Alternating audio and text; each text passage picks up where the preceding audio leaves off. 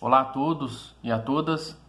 Chegou a hora da gente retomar as nossas atividades comerciais, industriais e de prestação de serviços em Juruáia e de aprendermos a viver com o vírus do Covid-19.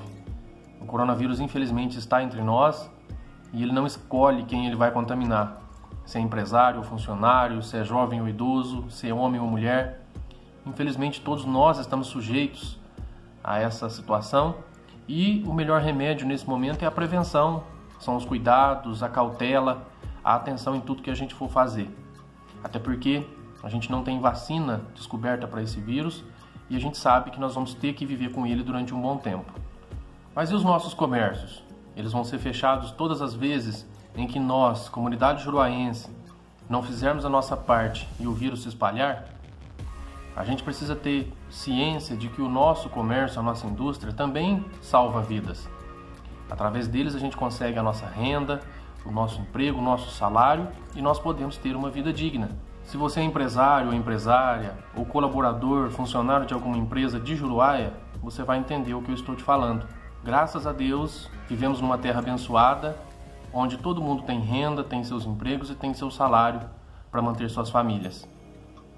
Se você não se identificou no que eu acabei de falar, provavelmente você conhece um familiar, um amigo, um conhecido que depende do emprego dele, depende do negócio dele para tirar o seu sustento e o sustento da sua família. Como ele fica se ele estiver desempregado ou sem a possibilidade de trabalhar e gerar o seu sustento?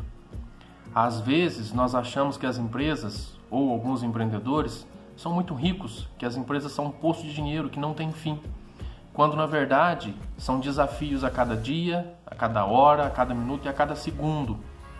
Às vezes o cenário é bastante diferente do que o que a gente imagina. Nós precisamos ter uma visão mais ampla da situação, nos preocupando sim, claro, com a nossa saúde e com a saúde de todos que estão à nossa volta, mas também buscando uma maneira de manter o nosso emprego, manter os nossos negócios ativos, manter nossa renda a gente precisa encontrar um meio de balancearmos os aspectos da saúde e da economia, pelo menos até a gente ter uma garantia de proteção contra essa doença provocada pelo coronavírus. Até lá, nós precisamos ter esse balanceamento para que os dois aspectos possam caminhar juntos e a gente não tenha problemas maiores. Por isso, agora, com a retomada dos nossos comércios, da indústria, da prestação de serviços, Todos nós devemos nos responsabilizar, nos conscientizarmos da importância das medidas preventivas. Isso é fundamental. Então, quando você for até um estabelecimento comercial, exija que a pessoa que está te atendendo esteja usando máscaras. Verifique se o estabelecimento está te oferecendo o uso do álcool em gel para seu uso e para uso dele também. Dê preferência para esses estabelecimentos que te proporcionem esse cuidado. Isso é fundamental. E denuncie aqueles que não estão cumprindo essa exigência. Evite ficar muito próximos nas filas e evite também ficar em ambientes aglomerados dentro dos estabelecimentos comerciais.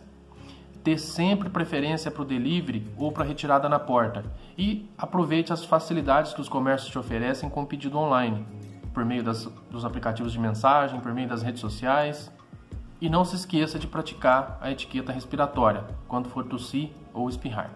Se todos nós formos responsáveis e conscientes, dá sim para a gente balancear a atividade comercial sem perder a atenção e os cuidados com a nossa saúde. Depende só de nós. Agora, a gente precisa pensar muito bem ao convidar a nossa família, os nossos amigos para um almoço, para uma jantinha, para uma festinha, mesmo que seja reservada, que a gente pense bem quando a gente for se reunir com pessoas que não são do nosso convívio local, da nossa casa, porque é aí que mora o perigo. É aí que o vírus pode se propagar muito rapidamente, porque é lá que a gente não tem tantos cuidados, a gente evita o uso da máscara, a gente não tem o hábito de higienizar as mãos e quando a gente menos espera, num ambiente que a gente menos imagina, é que o vírus se espalha rapidamente e a situação foge do controle. Use a sua máscara sempre, não tenha vergonha, não é feio. E quando você vê alguém sem máscara, cobre a utilização, seja na rua, seja no comércio. É para proteção dela e para sua proteção também. Abuse do álcool em gel, higienize sempre as suas mãos e não se esqueça, sempre que chegar em casa com as suas compras, faça a higienização com álcool 70% antes de guardá-las. Oriente seus amigos, sua família e todos que estão próximos de você. É hora de redobrarmos os nossos cuidados e colaborarmos para que o vírus não se propague dentro de Juruáia. Empresários e empresárias, vamos nos atentar às regras e aos cuidados e fazermos a nossa parte. População de Juruáia, façamos a mesma coisa. Vamos ser conscientes e responsáveis e cuidar para que o vírus pare de se espalhar em Juruáia. Sejamos todos conscientes e responsáveis. Assim, juntos, unidos, vamos conseguir passar por mais essa. Que Deus continue iluminando a nossa querida Juruáia e o nosso povo. Unidos somos mais fortes. Vamos juntos sempre. Um abraço.